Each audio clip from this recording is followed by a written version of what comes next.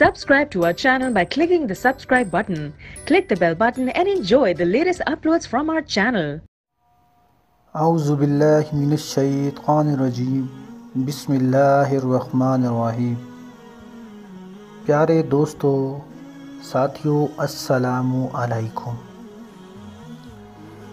آج ہم آپ کو ایک اہم واقعہ بتائیں گے جو ابو حنیفہ کے ساتھ پیش آیا ایک مغربی دانشور بغداد میں خلیفہ کے دربار میں حاضر ہوا۔ علم و فضل اور دانائیز اور ہمادانی کے دعوے کیے۔ اور بڑے تم تراک سے کہا کہ میرے پاس ایسے تین سوال ہیں کہ آپ کی پوری سلطنت کے علماء بھی جمع ہو کر ان کا جواب نہیں دے سکتے۔ خلیفہ وقت حیران ہوا، اس نے اعلان کرا دیا علماء کرام، آئمہ کبار اور بڑے بڑے فقہ جمع ہوئے۔ امام اعظم بھی تشریف لائے۔ رومی دانش مند نے اپنے لیے ایک ممبر رکھوایا تھا۔ جب سب علماء آ گئے تو رومی نے ممبر پر چڑھ کر علماء اسلام کو علی تربیت اپنے تین سوال پیش کیے۔ سب سے پہلا سوال تھا یہ بتاؤ کہ خدا سے پہلے کون تھا؟ دوسرا سوال یہ تھا، یہ بتاؤ کہ خدا تعالیٰ کا رخ کدھر ہے؟ تیسرا سوال، یہ بتاؤ کہ اس وقت خدا تعالیٰ کیا کر رہا ہے؟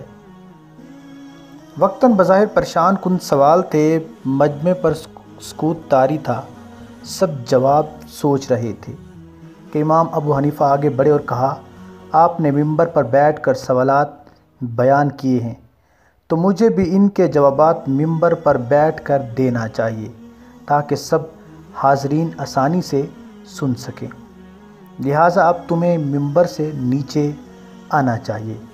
رومی دانشور ممبر سے نیچے اترا تو امام صاحب ممبر پر تشریف لے گئے اور رومی کو مخاطب کر کے کہا، اب نمبر وار اپنے سوال دہراتے جاؤ اور ان کا جواب سنتے جاؤ۔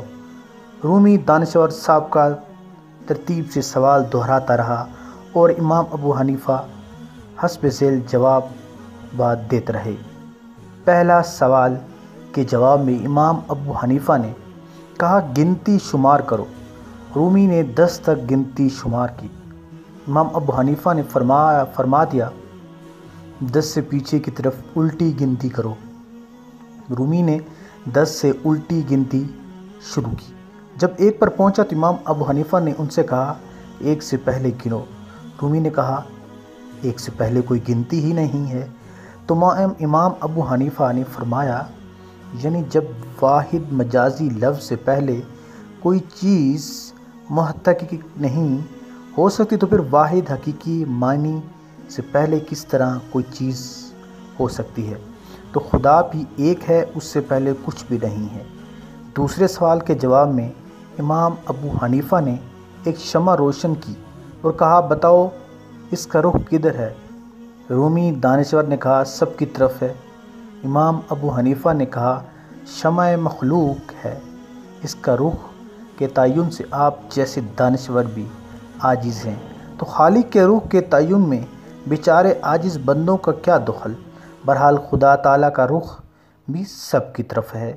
تیسرے سوال کے جواب میں امام ابو حنیفہ نے فرمایا کہ اس وقت خدا تعالیٰ نے تجھے ممبر سے نیچے اتار دیا اور مجھے ممبر پر بیٹھنے کی عزت بخشی۔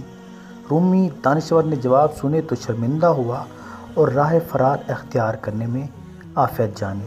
کرون اولا کے مسلمان علماء و اکابرین اپنی علمی وصیت میں مثالی نمونہ تھے۔ اس وقت کے بڑے بڑے غیر مسلم عالم کی حیثیت ان کے آگے کچھ نہیں تھی۔ امام ابو حنیفہ کا اپنی علمی بصیرت اور بصارت کی بدولت ایک نمایاں مقام تھا۔ اگر آپ کو ہماری یہ ویڈیو پسند آئی ہے تو ضرور ہمارے چینل کو سبسکرائب کریں تاکہ ہر آئیں آنے والی ویڈیو آپ کو بآسانی مل سکے۔ اللہ حافظ، اللہ نگہبان۔